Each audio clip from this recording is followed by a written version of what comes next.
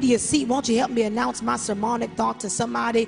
Look at somebody you came to church with, tell them, neighbor, I've got the faith to dig again.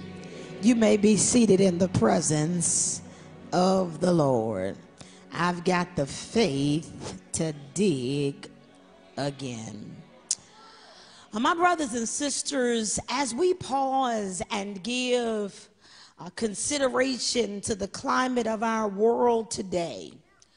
I believe that each and every one of us over these last few seasons or last few years of our lives have at some point encountered the possibility of or the reality of the spirit of defeat.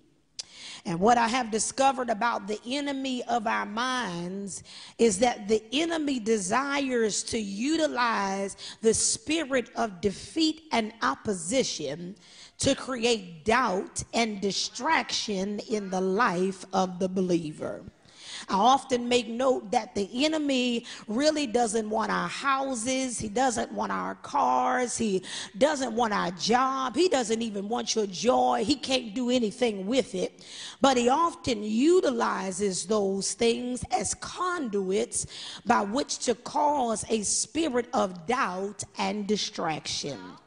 And so the enemy often tries to manipulate the faith of the believer by upsetting the flow of what belongs to us. And often, when we as believers find ourselves up against seasons of rigorous trial and rigorous circumstance, we tend to forget the promises on which we stand. But what I have found about the enemy is that because he doesn't have any power to deal in the realm of our physical existence, he specializes in the spirit of distraction.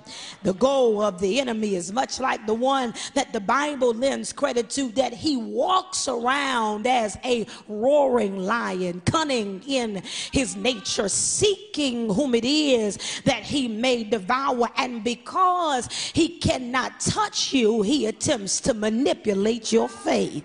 That's what the enemy does because the plan of the enemy is if I cannot get to you, then perhaps I can frustrate you enough enough to cause you to give up on what you already know God promised you. Now, I know that it's early in the sermon, but I wonder if there's anybody who can just take about 10 seconds to tell God, thank you for the fact that the enemy wants to frustrate your faith, because if he's trying to frustrate your faith, that's just an indication that he wants you to forfeit before you see it. And what that ought to tell you is that I'm not necessarily waiting on God to do something new for me. I'm just waiting to reach the place that he has already promised me. And the reason why that's good news is because if he's promised me something, then there has to be a reason why I'm going through what I'm going through. If, if he promised me something, then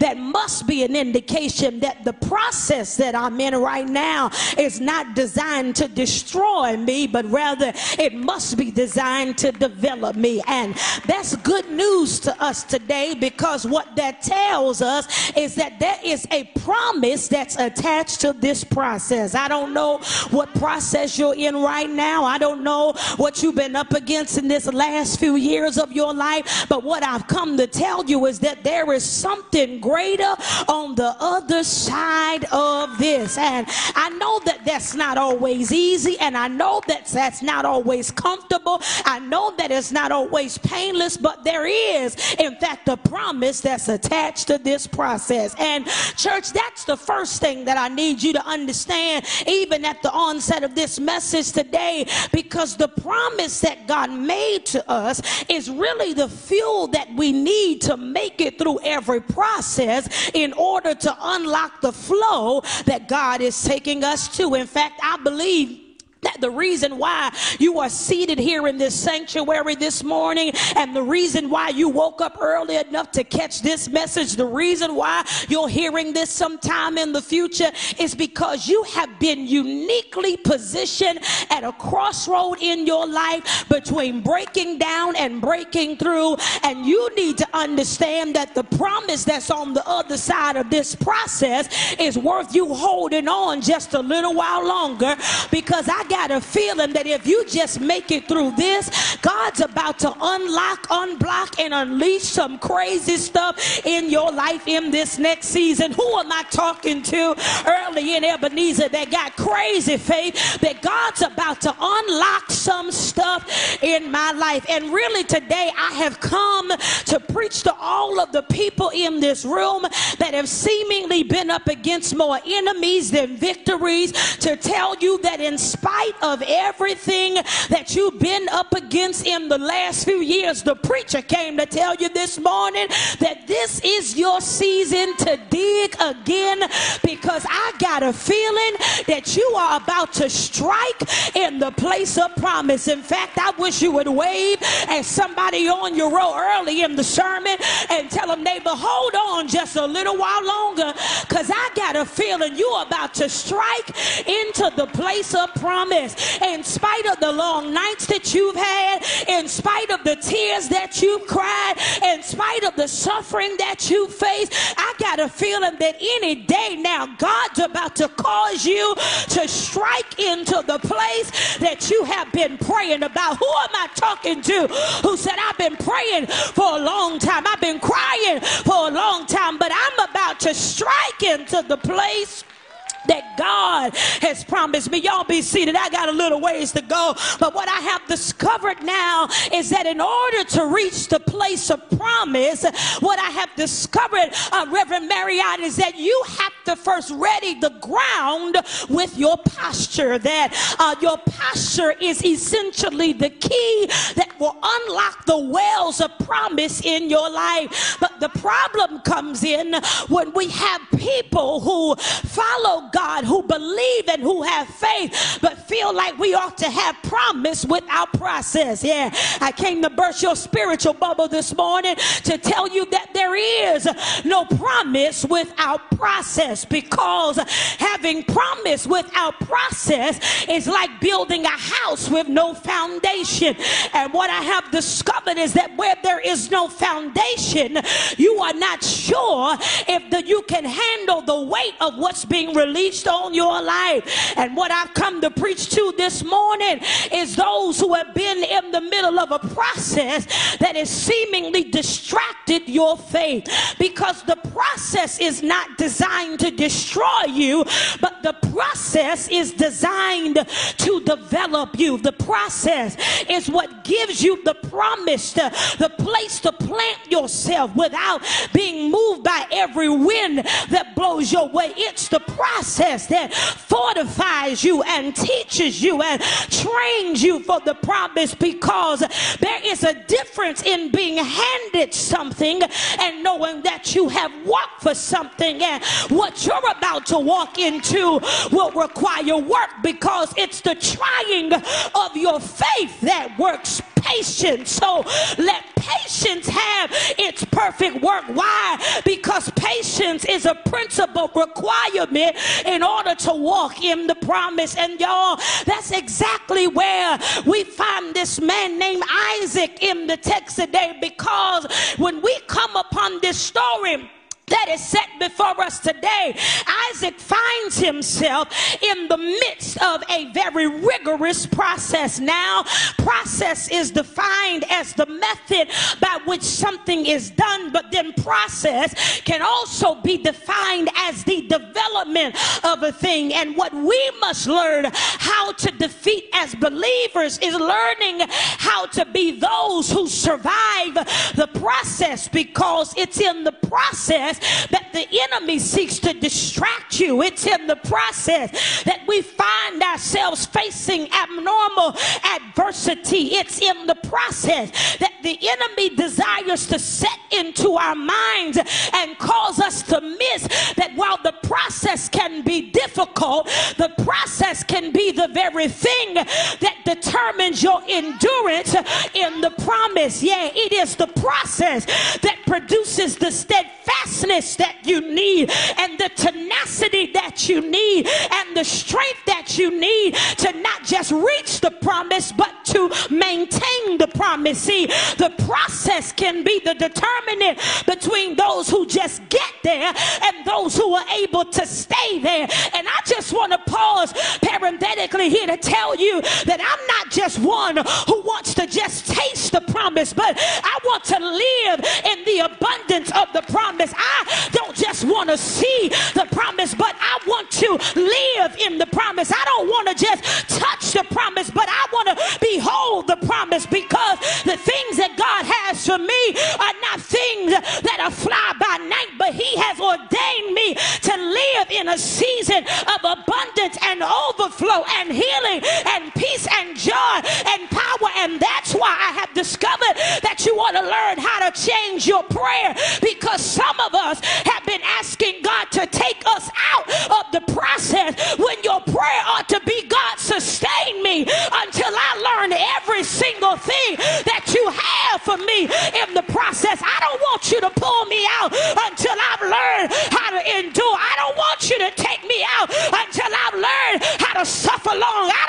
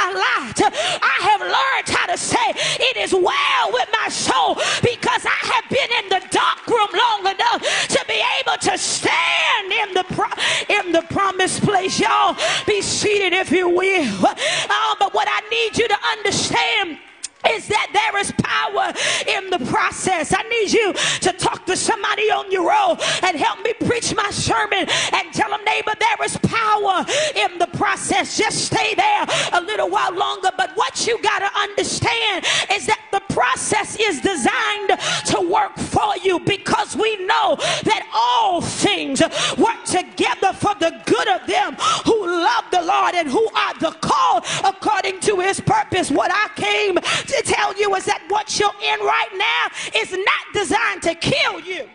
Uh-huh. But it is designed to give you the endurance you need to hold on to where God is about to take you.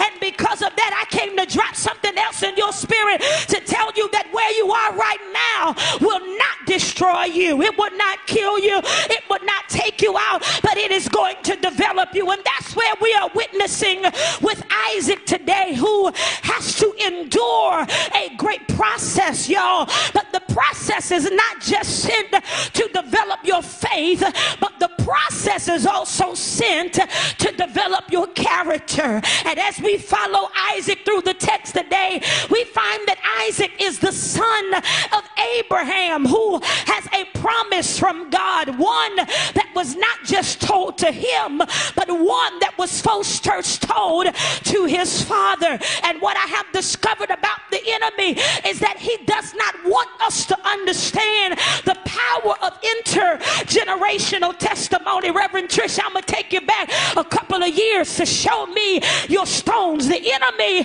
doesn't want us to realize the power of intergenerational promises because when we understand the power of intergenerational promises, we understand that we are not standing on our own merit or on our own goodness, but rather are surviving because of the prayers and the covenant that God made with some people that came before us. Isaac is in a very interesting position because he has a promise that has been given to his daddy. And I came to tell somebody here today that the reason why you're going to make it through this is because of promise that God made to somebody who he was in covenant with concerning you. And maybe you're saying, Preacher, my mama or daddy wasn't even in my life, but I thank God that the word tells us that even when my mother and my father forsake me, it is the Lord who will take me up. Even if you didn't have your mama and daddy, I know somebody who can tell God, thank you for your grandmama and thank you for your godmama. Thank you for your teacher and your guidance counselor and your pastor that to pray for you. And the reason why you're still standing here today is not because you've been so wonderful. It's not because you always got it together, but you're standing here because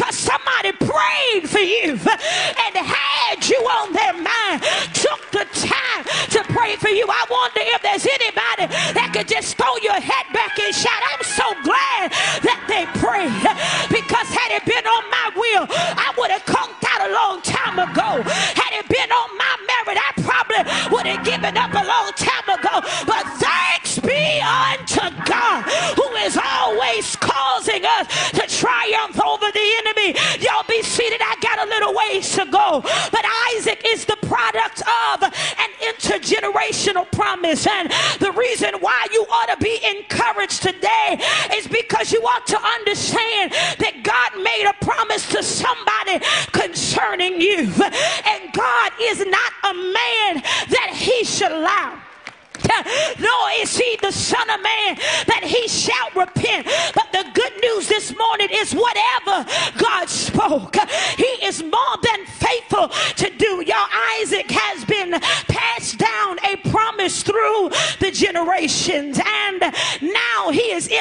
position where he has to learn how to endure the process for that promise. But your posture can open up the door and determine the level of your victory in attempting and attaining to reach the promise. And so perhaps today your question is, Preacher, what is the posture for securing the promise? Well, what Isaac is teaching us today is that we must first be the kind of believers who learn how to have faith against all odds. Because when we come upon Isaac in the text today, he is experiencing abnormal adversity. Have you ever felt like you were up against more than the usual? That every time you turned around, if it wasn't one thing, it's another. That's where Isaac is in the text because every time we find him in the text, he seems to be at a disadvantage. Y'all, the Bible tells us that Isaac is sent now to the land of Gerar. But what we must understand is that the land of Gerar is in the middle of a famine. So Isaac is physically planted in a place that is already at a disadvantage. He, he's placed in a position of lack. He has literally been sent down to a place that doesn't seemingly have anything that looks like the promise. Have you ever discovered that on your way to the promise, that your promise and your placement won't always line up, that there will be some seasons of your life where God will plant you in places that don't look like where you're headed.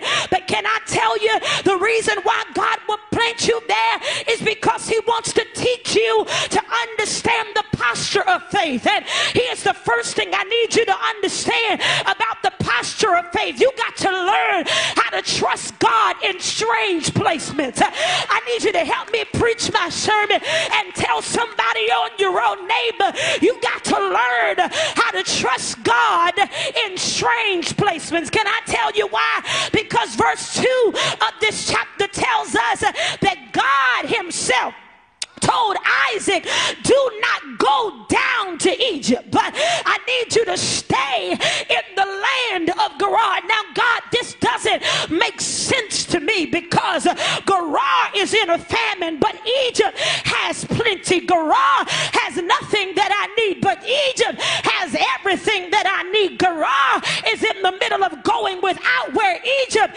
is in overflow. And when you look at it, you recognize that Egypt is just about 30 miles from the land of Gerar. So wait a minute, God. You mean to tell me that you gave me a promise that belongs to me, but then you instruct me to go and plant myself in a place that doesn't have what I need. But not only would you tell me to plant myself there, but you planted me close enough to the thing that I think I want. Don't you know that sometimes in this journey, God will put you next to what you think you need just to find out if you can trust Him with where He's sending you? Because if you can trust Him with where He's sending you, He's going to prove Himself to be more and more. Tears so sweet to trust in Jesus, just to take him at his word. I wish you would talk to somebody on your own and tell them, neighbor, the grass ain't always greener on the other side.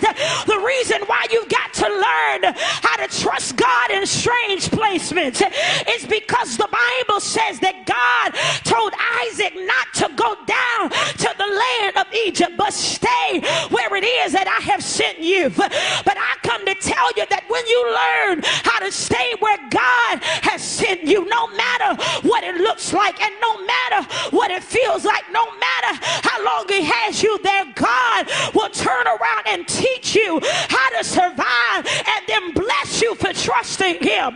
Because the Bible says in verse 12 of this chapter that Isaac planted seed in the ground. In other words, God planted him in a strange place because he had to teach him that I am able to give you more with nothing than you could ever obtain with people who have something. And the Bible says that not only did Isaac learn how to plant seed in a place where they looked would be no harvest, but it said that in that same year he turned around and saw a 100 fold increase, meaning Isaac has been planted in a place that looks like nothing, but because he learned how to trust God in that place, the Lord turned around and blessed his harvest in a place where there was nothing and gave him more than he could ever ask, think, or imagine. And now unto him who is more than able to do exceeding and abundant above everything that you could never ask, think, or imagine. I came to tell you that the reason why you got to learn how to trust God in strange placements is because when you trust Him with strange predicaments, He'll turn around and give you a strange harvest. When you trust Him with strange placements, He'll turn around and give you strange blessings because it is your obedience that will unlock your overflow. I need you to tell somebody I got a feeling that with all that I've had to endure where I am that I'm about to see God do something for me before 2022 ends. For the Bible says in that same year, he saw a 100 fold blessing. I wish you would talk to somebody on your own and tell them I got a feeling that I'm going to see it this year before 2022 ends. God's going to bless my family before 2022 ends. God's going to touch my money before 2022 ends. God's going to raise my children before 2022 ends. I'm about to walk in a new position because I'm going to see it this year. You ought to talk to somebody on the other side and tell them, neighbor, tell them I'm about to see an unorthodox harvest because of my unorthodox placement. I've been waiting on God to show up, and I got a feeling that the next four months are going to be easier than the last eight months because you going to see it this year.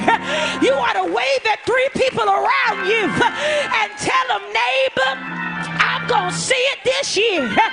Yo, I've come to let you know on my way out of this church that God has you in strange places, not to deplete you, but but He has you there to build your faith, and He has you there to increase your capacity. He has you there so you can watch God perform something out of nothing. And I just want to know is there anybody here that's glad to know that you can trust God in strange places? Your Isaac is in the strange position because he's in a place where there is a famine. But not only is he in a hard place, but after he finds success in that place, the Bible tells us in verse number 14 that the people became weary of his prosperity, that they begin to envy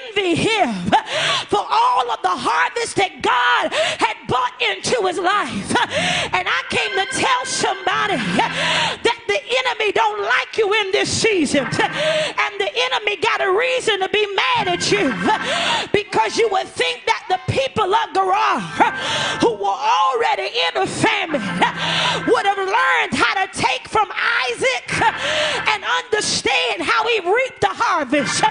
You would think that they would be trying to set up a network marketing system to learn how to wholesale from the harvest that he had. But the Bible says the people blessing. Y'all, the reason why the enemy couldn't stand Isaac is because he learned how to survive in a place that killed others. And he learned how to survive in a place that should have killed him. And I came to tell somebody that the reason why the enemy is on your track in this season is because the devil ain't happy you learned how to survive in a place that should have killed you. The enemy expected you to die in 2021. The enemy didn't expect you to make it through 2020. But is there anybody here that can throw your head back and shout, I'm still here? and it's by the grace, the grace of God. That's why you. That's why the enemy won't let you be happy because he never expected you to survive this long. But can I tell you that for every enemy that was mad at Isaac, he was able to bring on more servants to man the harvest because you, He will increase you to bless somebody else. So in this season, I've learned to change my prayer that if they don't ever call my name, if they don't ever celebrate my value, if I don't ever make it on their program, God just bless me to somebody else. Because if I can help somebody along this journey, then I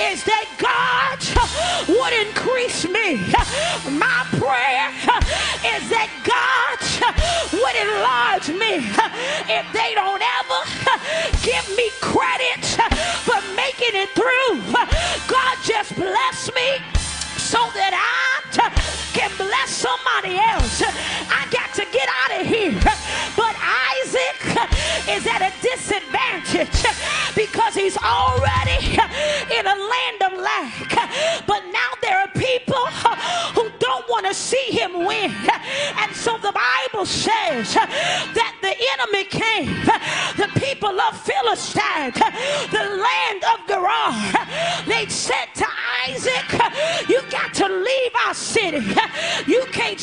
Here any longer. We don't want your blessings in our land. We want your strategy, but we don't want you. But guess what, y'all? When Isaac saw that the season had shifted, the Bible doesn't tell us that he wrestled with the people to stay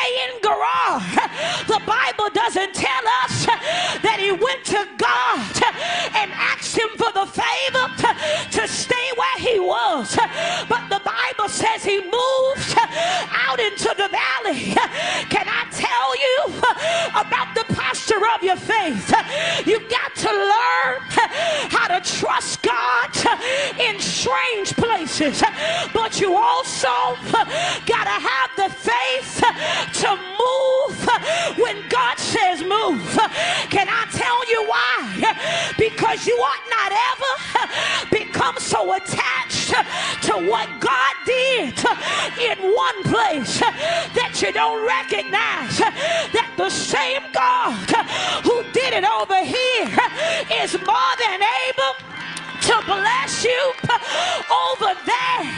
You ought not ever get so attached to what you found in one place that you forget that the same God who blessed you here is able to do it over there. And I came to tell you that perhaps you've been praying about what to do in your season when God is saying that there is nothing that is wrong with your business, there is nothing that is wrong with your strategy, there is nothing that's wrong with your anointing, but it's time in making permanent placement out of temporary assignment. You got to learn how to understand when God says move. Would you talk to somebody on your own and tell them, neighbor, it's time to move.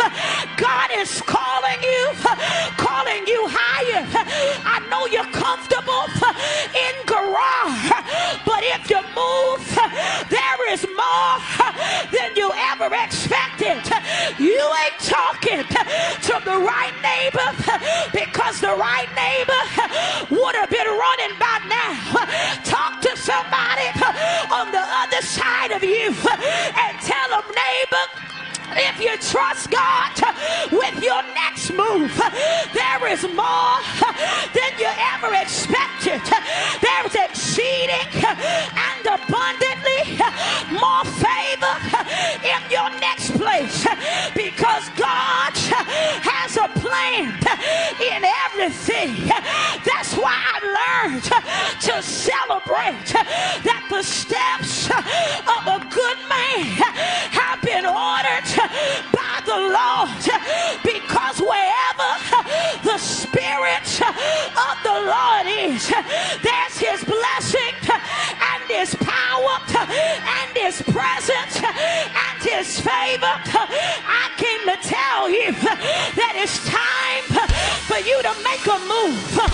Would you talk to somebody on your own and tell them, neighbor, it's time for you to move. Y'all, the Bible tells us that Isaac trusted in strange places and Isaac moved when it was time to move. But can I tell you that when he got down into the valley,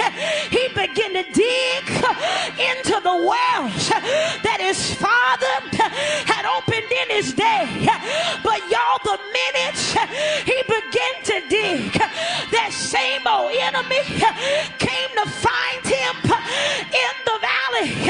And the Bible says that the minute he struck water, that the enemy came and wrestled over that water. And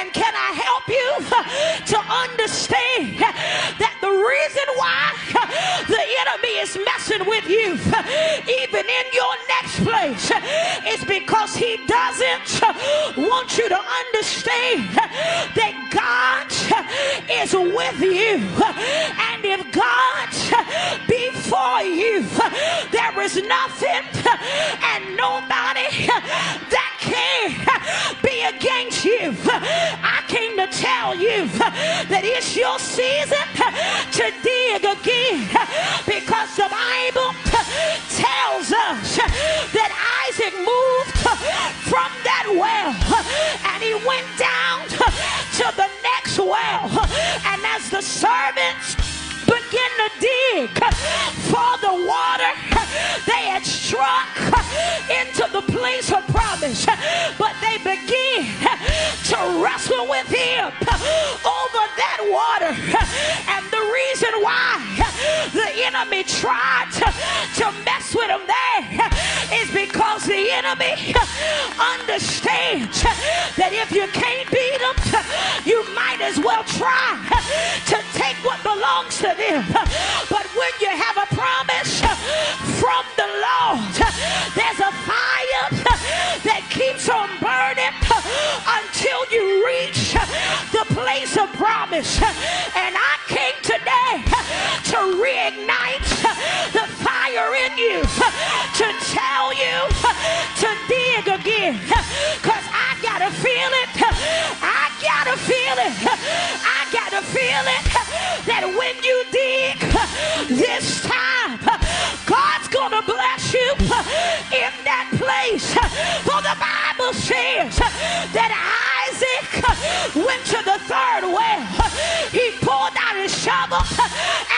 servants began to dig for the water.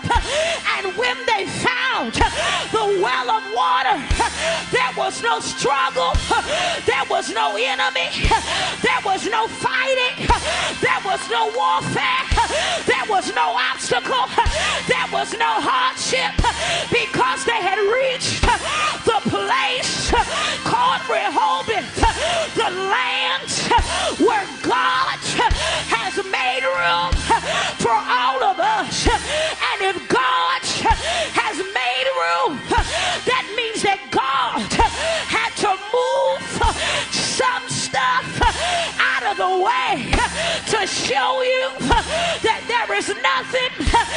is too hard for my God to accomplish. And that's why you've been going through so that God can prove to you that he can move every hater. He can move every doubter. He can move every stronghold out of your way. But guess what, y'all? The Bible says that when he got to Rehoboth, there was no struggle for that place. I'm on my way out of here, but I came to announce over you that after all of the times that you tried,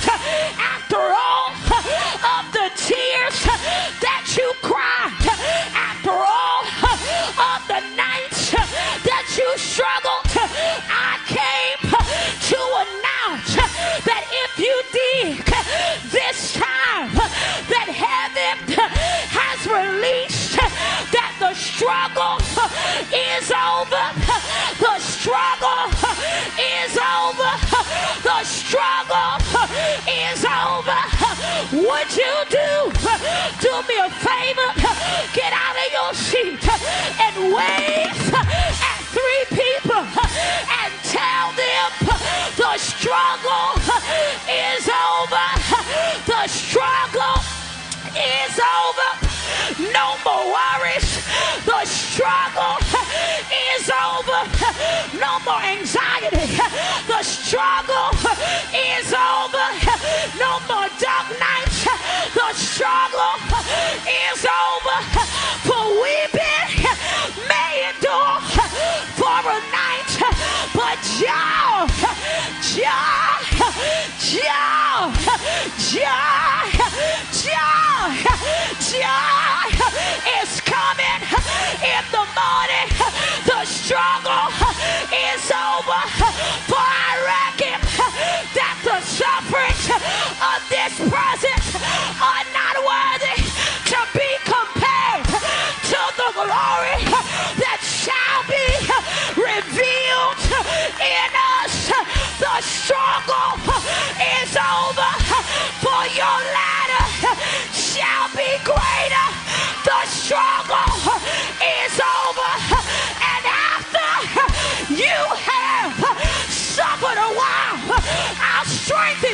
and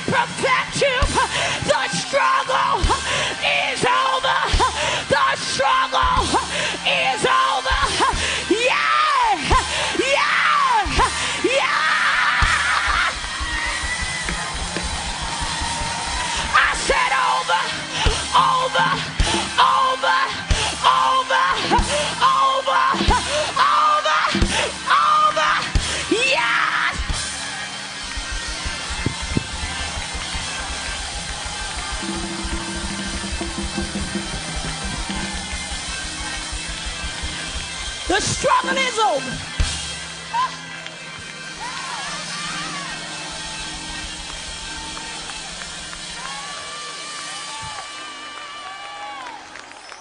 I wish you would lay your hands on yourself and declare the struggle is over for you. Higher. Yes, Lord.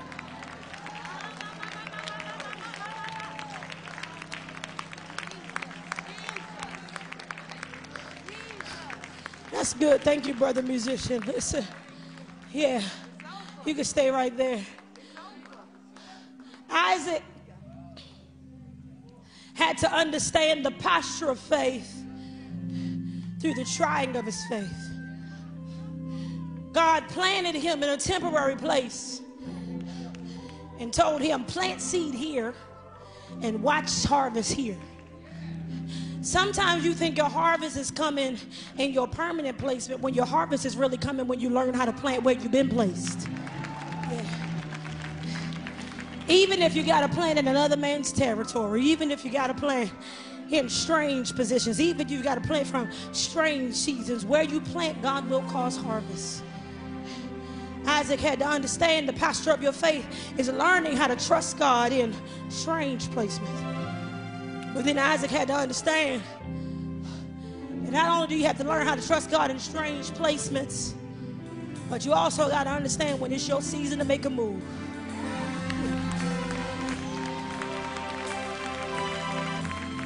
Because there is great detriment in trying to make permanent placement out of temporary assignments.